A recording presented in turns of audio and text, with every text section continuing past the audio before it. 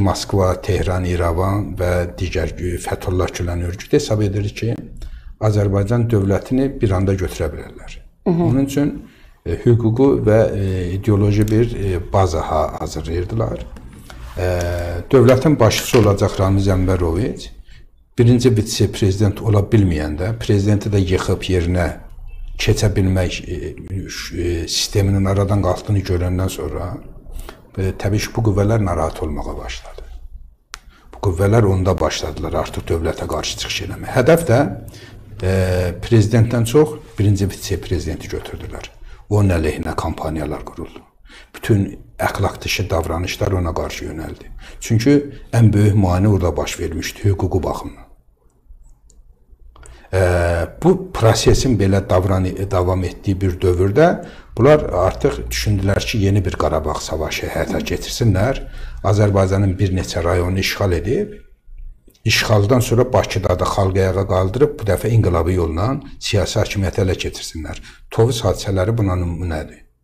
Tovuz hadisələrində e, artıq Tovuzdan irəli keçib kommunikasiya xətlərini əl qoyandan sonra və Tərtər istiqamətində də Gəncə şəhərini izolə edəndən Kür sahilinə çatana qədər hərəkət edib Bakıda da hərəkətlənmə yaratmalı idilər.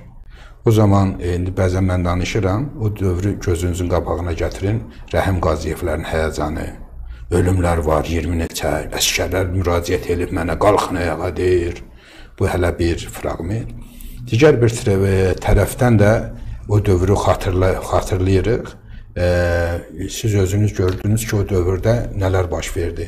Və milli qəhrəmanımız Polad Həşimov təsadüfən seçilmədi vurulmaqda. O bilirdilər ki, o əskərlərin içində, xalqın içərisində bunun böyük sevgisi var. Bunun e, haqqında şuurlarda gizli bir sevgi yaşayır. Onu hədəf aldılar ki, onun da cənazəsi üzərindən də Bakını qarışdırsınlar. Fikir verin nə qədər e, usta qurulmuşdu oyun. Öncə doğulduğu Qəbəliyə aparmaq, oradan Sumqayıta gətirmək, Sumqayıtdan Bakıya, tabutda Bakıya gətirmək e, və Bakı şəhərində milyonları ayağa qaldırmaq. Milyonları ayağa qaldıran kim idi? Polisdə işləyən Ramiz Əmməroviçin əskərləri. Xatırlayırsınız, bölmə rəisləri, polis rəisləri nələr eləyirdilər? Məqsəd artıq Bakı şəhərində kütləvi ixtişaşları həyata keçirəndən sonra prezident yığıb Ramiz Ənbəroviçin hakimiyyətini təmin etmək. Bu, yəni Ramiz Ənbəroviç burada oyuncaqdır. O kimdir ki? E, Moskva, Tehran, İrəvan və Fəthullah Gülan e, kürəsəlçi gücün kukla marionetka dövlətini qurmaq. O dövr xatırlayırsınız ki, türk əskərlərinin Naxçıvana girməyi prosesi dayandırdı.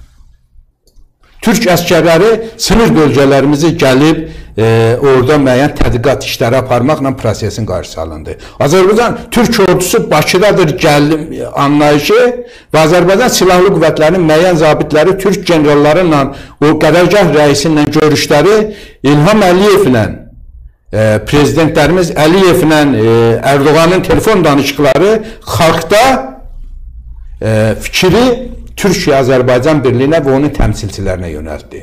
Və onlara qarşı qoyulmuş hərəkatın xalq içərisində dayağının qarşısı alındı. Prosesləri izləyin və nəhayət Türk ordusu Azərbaycanda işlər apardı.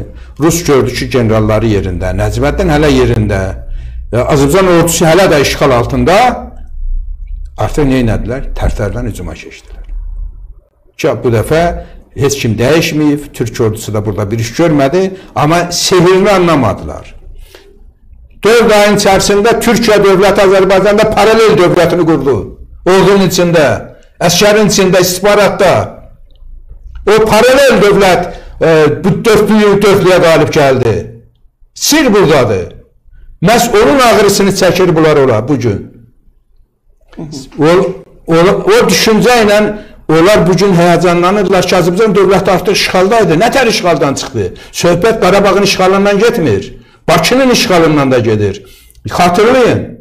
İranın bu cürə yüksək rütbəli e, e, Çinli məmurları belə açıqlamalar 5 il bundan qabaq vermirdilər. Niyə? Çünki e, Ənvər Ofisə zəng gəlirdi. Kamaləddinlərə Mənüçeyir qulağına pıçıllayırdı. Ocaq Nicat siyasi partiyalara qulaqlarına pıçıllayırdı. Burada qurduğu çətənin qulağına pıçıllayırdı. Dini idarələrə pıçıllayırdı ki, e, filan şey olmamalıdır deyirlər baş üstə. Filan kəsin səsini batırın, batırırdılar. Öldürün, öldürtdürürdülər. Və ona görə də onların səsi çıxmırdı. Zənglə əldə edirdilər. Artıq zənglə edə bilmirlər. O güclər Azərbaycanın qurum və quruluşlarını təsir edə bilmir. Et, müəyyən zənglərlə neçələr də qorxurlar ki, birdən üstə açılar. Adamlarımız ifşa olunar. Məhkəmədə kim var? Orduda kim var? Savcılıqda, prokuraturada, hər yerdə.